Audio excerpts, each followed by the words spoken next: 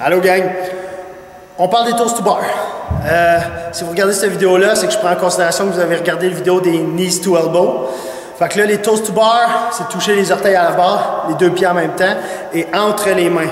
Quand vous installez vos mains sur la barre, il faut absolument toucher les orteils, les deux pieds en même temps, mais vraiment entre les mains, pas à l'extérieur. OK? Fait qu'à l'intérieur des mains.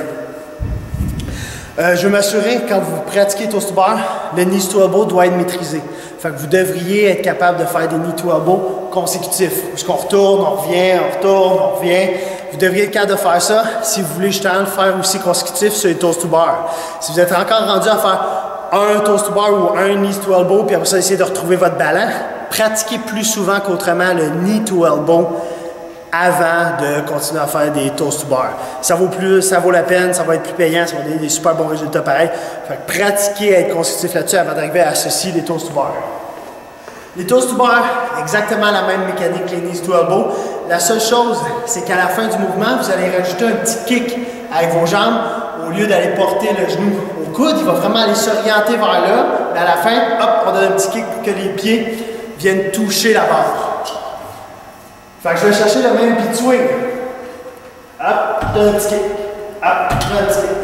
Hop. Fait qu'on va voir ça, c'est une des façons de faire. Il y a aussi. Bon.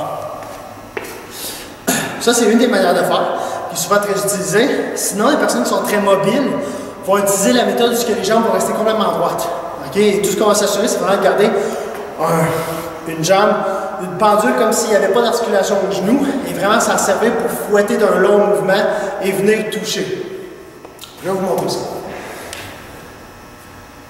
Fait que les pieds collés. Fait beat swing.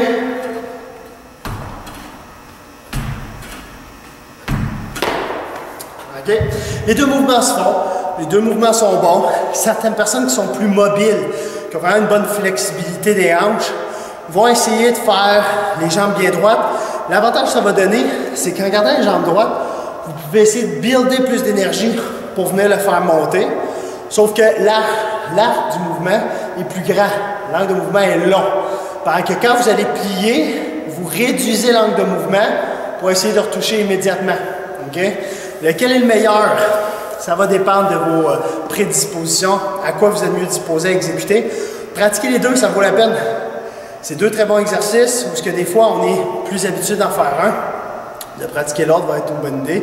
Les deux sont très bons pour les abdos, des très beaux mouvements et le pattern reste le même.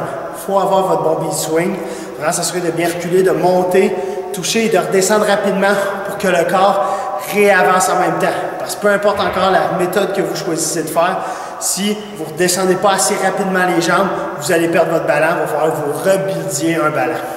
Des petits détails qui peuvent des fois aider quand vous êtes rendu à finir le toast to bar. Euh, quand vous êtes habitué, vous n'êtes pas nécessairement obligé de regarder la barre. Dans un toast to bar, si on regarde la barre, ce qu'on a tendance à faire, c'est venir incliner, sortir un peu plus le chest, s'orienter vers la barre. Pendant que ce n'est pas nécessairement ce qu'on souhaite parce que ça va venir solliciter un petit peu plus l'épaule. Ce que vous voulez, c'est rester un petit peu plus neutre à ce niveau-là, reculer, mais rester neutre pendant que c'est les jambes qui vont faire le reste du chemin. Fait que dans ce temps-là, regardez au loin. Regardez un point loin en avant. Ça va être suffisant pour empêcher de forcer avec l'épaule pour venir s'incliner légèrement quand on n'a pas besoin, qu'on a juste besoin de venir se reculer, se reculer derrière la barre. On va pas vouloir s'incliner et utiliser plus les épaules.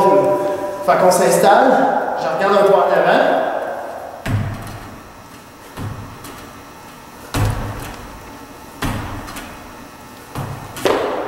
Vous avez vu, les deux méthodes se font. Les deux méthodes peuvent être utilisées un après l'autre. Tant que vous gardez votre élan, votre bon beat swing, ça se fait très bien. Pratiquez, gang!